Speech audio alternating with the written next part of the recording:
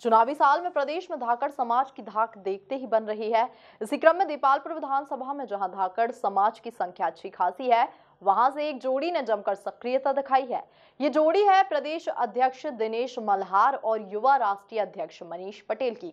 इस जोड़ी ने धाकड़ समाज के युवाओं के बीच अपनी गहरी पैठ बनाई है और एक कार्यक्रम के दौरान मंच से सामाजिक एकता का संकल्प दोहराया है। देखिए, दीपालपुर से एमपी न्यूज़ की ये खास रिपोर्ट। दीपालपुर में धाकड़ समाज ने जमाई धाक। समाज की जोड़ी नंबर वन बनी मनीष और दिनेश की जोड़ी।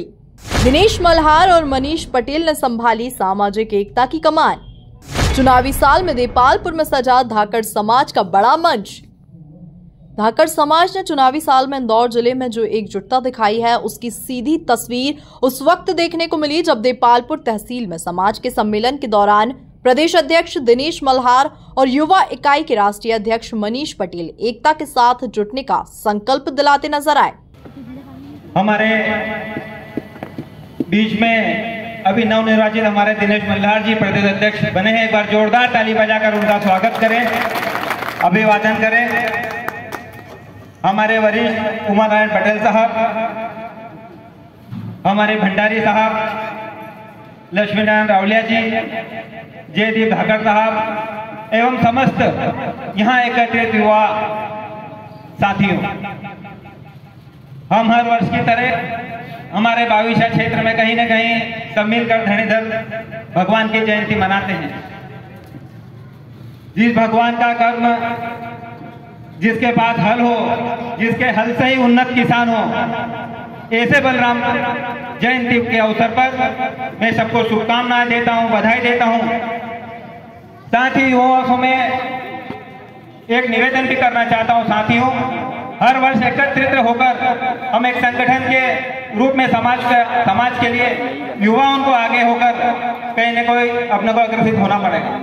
साथियों, आज किसान कहीं ना कहीं प्रकृति कब्जा से, कहीं ना कहीं दूसरी व्यवस्था से कहीं ना कहीं किसान की व्यवस्थाएँ खराब होती जा रही है। हम सब एक किसान परिवार के हैं।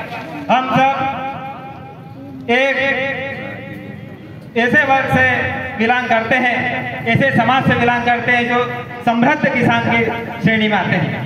साथियों, आज इंदौर शहर के पास में होने के कारण कहीं ना कहीं देपालपुर से लगा के आसपास के तहसीलों में धाकड़ समाज का सब वर्चस्व रहा है। मेरा युवा साथियों से अनुरोध है।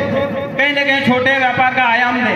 कहीं न कहीं बड़े शहरों में, कहीं न कहीं अपनी शिक्षा में उन्नति कर करके हर परिवार, किसान परिवार से कहीं ना कहीं बच्चों को छोटे छोटे व्यापार में आगे बढ़ना चाहिए, ताकि समाज का उत्थान हो सके, प्रदेश का उत्थान सके, उसके साथ ही राष्ट्र का उत्थान हो सके। यही नहीं, दिनेश मल्हार और मनीष पटेल भले ही कांग्रेस, भाजपा अलग अलग राजनीतिक दल से आते हैं, लेकिन धाकर समाज की धाक जमाने के लिए एक साथ कंधे से कंधा मिलाकर चल रहे हैं और पहली बार प्रदेश में अपनी जोड़ी का जोरदार आगाज़ कर रहे हैं। दोनों ही नेता राव विधानसभा से आते हैं, लेकिन दीपालपुर में समाज के मंच पर इन्होंने अपनी सियासी शक्ति का परिचय ज़रूर दे दिया है। Bureau report, MP news, Dipalpur.